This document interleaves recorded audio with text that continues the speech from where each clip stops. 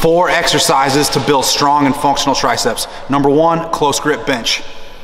Make sure you get a close grip, keep your elbows close to your body, bring it out, go down, and punch. Go down, elbows close, punch. Number two, dips. This is a foundational body weight exercise. If you want to put more emphasis on your triceps, keep your legs in front of your body. Emphasize full range of motion. Number three, standing barbell skull crusher. Get a close grip, start with the barbell over your head, bring it down to your forehead, punch it up. Down to your forehead, punch it up. It's an amazing exercise to improve the lockout for an overhead press. And then last but not least, the body weight skull crusher. Body straight, break at the elbows. All the way down, punch up one, two, triceps.